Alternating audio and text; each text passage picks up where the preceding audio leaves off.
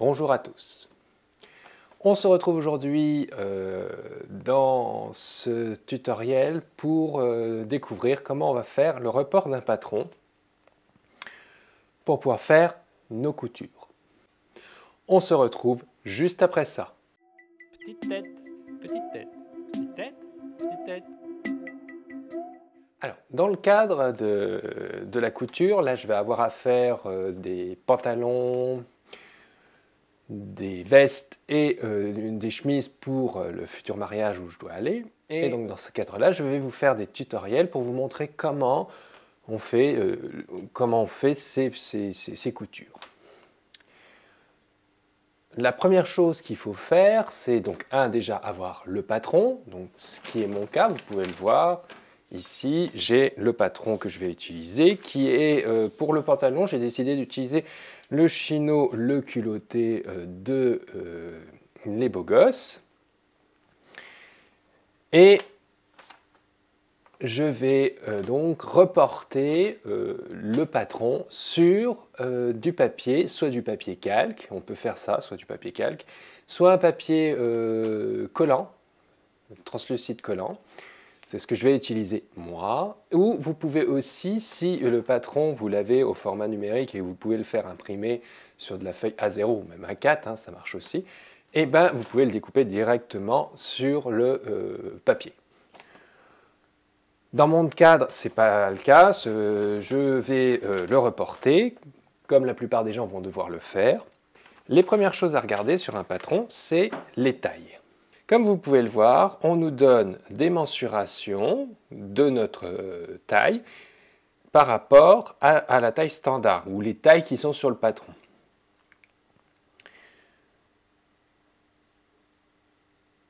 Ici, euh, on choisit celle qui correspond le mieux à nous, qui est par exemple pour moi va être un L. En vérité, ce n'est pas tout à fait un L que je vais faire. Je vais faire un mélange de L et XL parce que j'ai besoin d'avoir L'arrière va être vraiment du L et le devant, je préfère du XL. Donc en fait, je vais combiner les deux sur mon patron. Mais si, euh, donc je vais vous montrer comment je vais faire ça. Mais sinon, vous pouvez prendre directement la découpe du patron L si vous voulez faire du L. Maintenant que vous avez déterminé votre taille, il va falloir regarder sur le patron. Pour ça, je vais le replier et vous montrer. Si vous regardez ici, on a de nouveau ici les mensurations. Et ici, on nous donne les traits qui correspondent à chaque taille.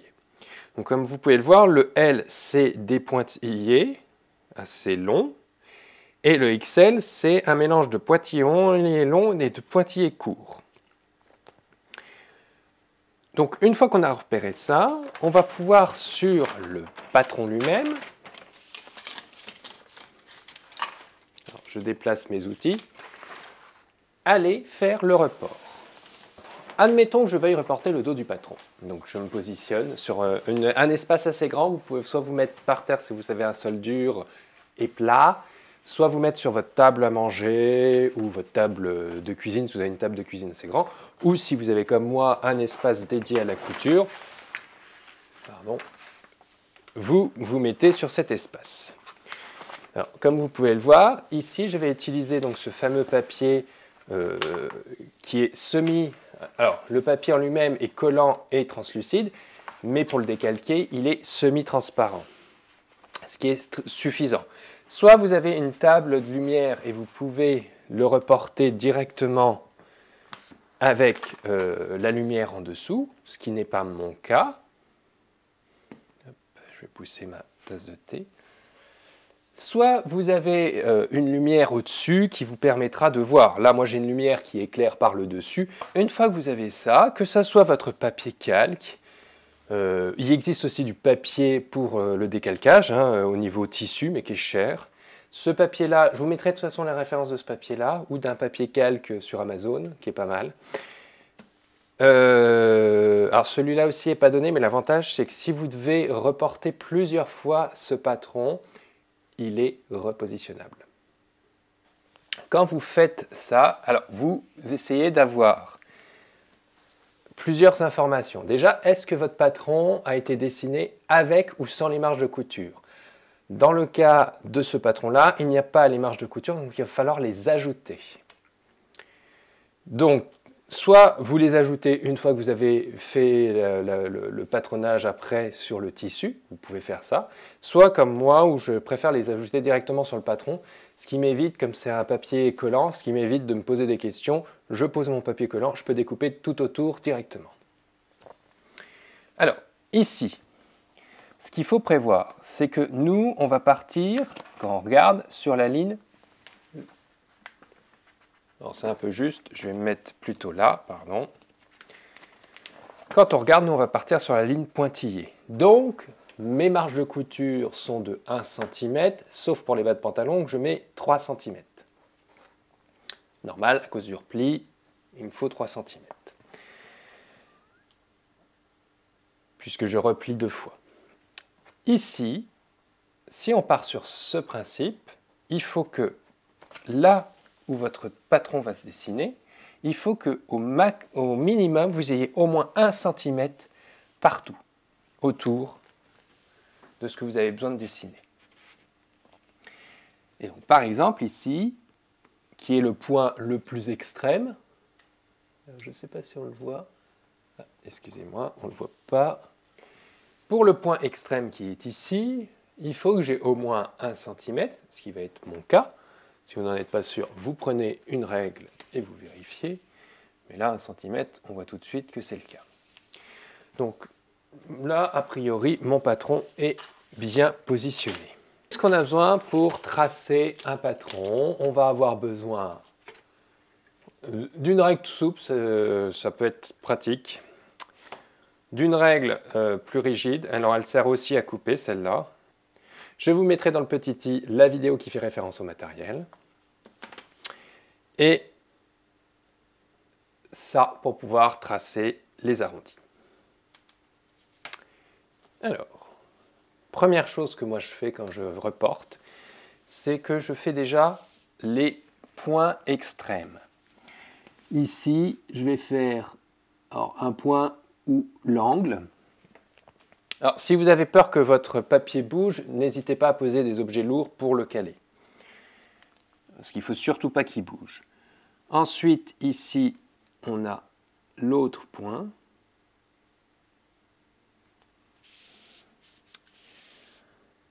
Ici, alors moi c'est ma particularité, c'est que normalement je devrais venir faire mon point ici, mais comme je veux prendre du XL pour le devant, je me mets ici.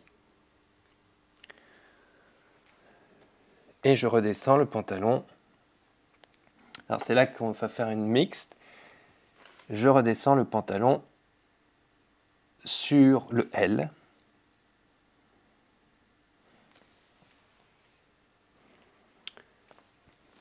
je fais l'autre extrême ici, en L, et j'ai tracé mes extrêmes. Donc, ce que je rajoute, moi, je donne, je dis que ça c'est le dos. Euh, c'est un marqueur euh, permanent. Je dis bien, je remarque qu'il faut deux tissus. Et je dis que c'est le chino le culotté. Ensuite, je trace mon droit fil, important, puisque c'est une des, des repères qu'on a besoin. J'indique que c'est le droit fil. Et après, je vais commencer à tracer. Donc, premier traçage que je vais faire, ici, il est facile. Je vérifie quand même que je me suis pas trompé. Donc ici, il est facile. Vous avez un trait droit à faire. Donc c'est facile. Il faut rajouter là-dessus, il faut rajouter l'endroit où se posent les attaches pour la ceinture. Donc nous, on est sur du pointillé, donc c'est celui-là. Donc il y en aura une ici. Et je suis étonné parce qu'il me semblait qu'il y en avait plus, mais non, il n'y en a qu'une ici. Donc une ici. Alors bien sûr, si vous trouvez que ce n'est pas suffisant, vous pouvez totalement en ajouter. Quand je dis en ajouter, euh, il faut le prévoir aussi dans l'autre morceau de patron qui permet de faire cette attache. C'est-à-dire va falloir faire un morceau plus long. Mais vous pouvez en ajouter si vous trouvez qu'il n'y en a pas assez. Hein. Ce n'est pas interdit. Hein. Ensuite, on a euh, les pinces à faire. Donc les pinces, on en a une ici et une ici. Donc on va les tracer. Donc là, je reprends la règle pour les tracer, hein, c'est quand même plus propre. Voilà, je fais ma première pince. On verra aussi comment on les fait. La deuxième, elle est ici.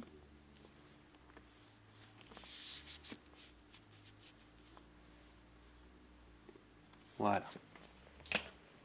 Ensuite, on va tracer l'emplacement où se trouve la poche passe-poil.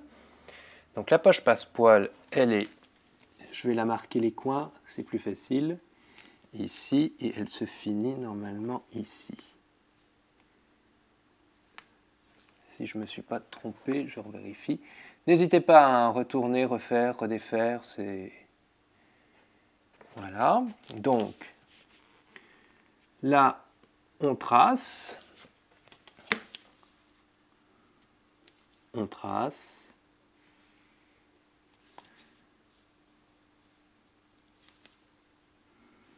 Et on trace. Il restera à tracer dans la poche passe-poil, il restera à tracer ça, mais on le fera en décalant après. Ici, on va tracer donc avec notre règle perroquet on va tracer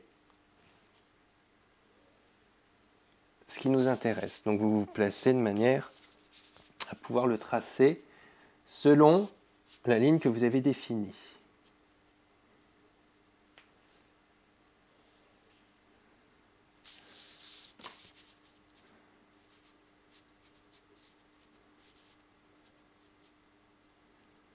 Voilà, j'ai fait une toute petite voilà. Et là, on repart pareil de l'autre côté. On retrace ce qui nous manque. Donc là, moi, je suis sur la partie XL. Donc, on continue à tracer. Pardon, on trace. On trace. Et on finit ça tout le tour. Là, j'accélère un petit peu. Vous pensez aussi à mettre votre zone de coupe euh, pour allonger ou raccourcir. Et vous pensez à placer tous les repères qui sont indiqués. Par exemple, ici, on aura un repère à marquer qui est le repère de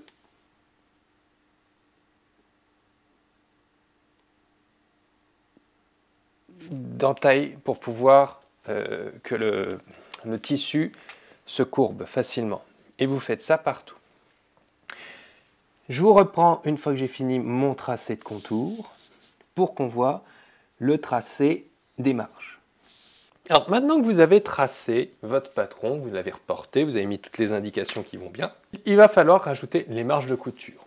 Soit vous ne voulez pas les rajouter là et vous pouvez directement découper ici, soit vous faites comme moi et vous les rajoutez. Donc grâce à cette règle-là, ce qui est pratique, c'est que vous vous placez aux distances de votre marge de couture, qui est chez moi de 1 cm.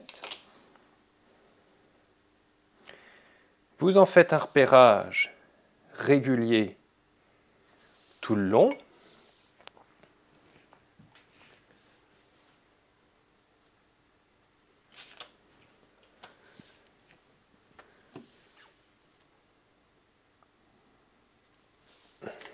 Sauf ici où moi je mets 3 cm parce que c'est les bas de pantalon.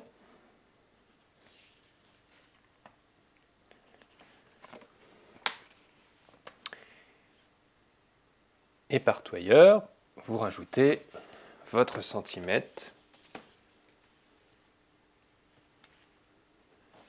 Ce qui est rapide à faire.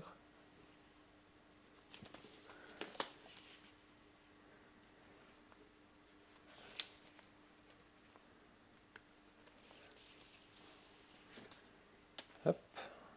Là au-dessus.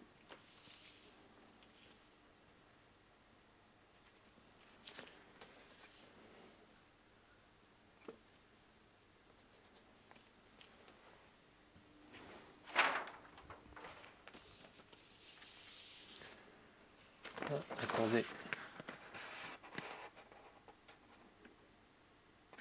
Ah. J'ai oublié d'ajouter un repère le repère de cette attache-là. Je viens de me rendre compte. Pareil, hein, si vous voyez que vous avez l'avantage avec le, le décalcage, c'est que si vous voyez que vous oubliez quelque chose, vous pouvez le rajouter. Et une fois que vous avez fait ça, eh ben, vous reprenez vos règles.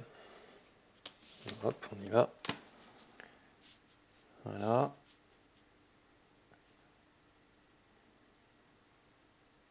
Hop. Et vous tracez de manière à ce qu'on ait à peu près le centimètre de décalage.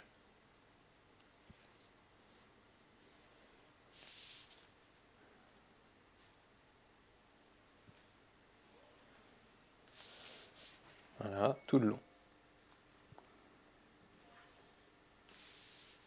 Et vous continuez à faire ça tout le tour. Maintenant qu'on a complètement dessiné notre patron avec les marges de couture ou sans les marges de couture selon les personnes, vous prenez votre belle paire de ciseaux et vous découpez. Donc là, c'est l'étape la plus simple, on va dire, puisque suffit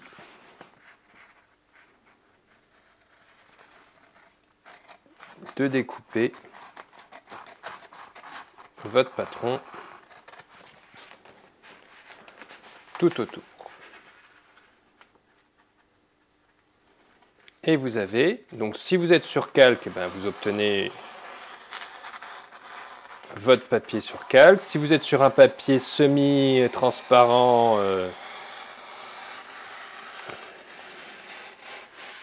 ou sur ce papier collant, vous obtenez donc votre patron qui a été reporté. Donc vous faites tout le tour. Je ne vais pas continuer puisqu'il n'y a pas d'intérêt à vous montrer une découpe supplémentaire. Et après, bah, vous faites ça pour toutes les pièces du patron, dans la taille que vous avez choisie. Attention, certains euh, éléments de patron, si vous avez un patron qui est sans marge, sont indiqués marge incluse. Qui est le cas sur ce patron, par exemple, si vous, pour les passants, le passant, il faut vraiment découper cette pièce-là, parce que là, c'est marqué, les marges sont déjà comprises pour cette pièce. Donc, pas la peine de euh, rajouter des marges. Donc, si c'est un patron sans marge et qui vous indique ça, vous euh, faites bien attention quand il y a des indications comme ça de ne pas ajouter de marge. Si c'est un patron avec marge, vous ne vous posez pas de questions, vous prenez les marges qui sont indiquées. Souvent, les patrons sont sans marge, c'est souvent sans marge, mais il peut arriver qu'il y ait les marges aussi. Ça va dépendre de, ceux qui font les patrons. Petite indication supplémentaire, vous prenez par exemple cette poche. Vous, il va falloir que vous fassiez, vous dessiniez, vous allez dessiner qu'une seule des pièces. Vous n'avez pas besoin de dessiner celle qu'on coupe puisque vous allez le tracer sur votre patron et après on le reportera au moment de couper en fait. Puisqu'on sait les deux points où on s'arrête, c'est une ligne droite. Donc quand on va le faire, on va le reporter, on va faire la ligne droite et après on trace la ligne droite et on finit de couper. C'était tout pour euh, ce tutoriel sur le report des euh, patrons sur un papier. On se retrouve la prochaine fois pour la duplication euh, de ces reports qu'on a fait sur le tissu, comment on les agence dans le tissu, comment on met le tissu, et comment on lit les instructions qui sont indiquées pour le patron. On se retrouve donc la prochaine fois. Merci de m'avoir suivi. Bye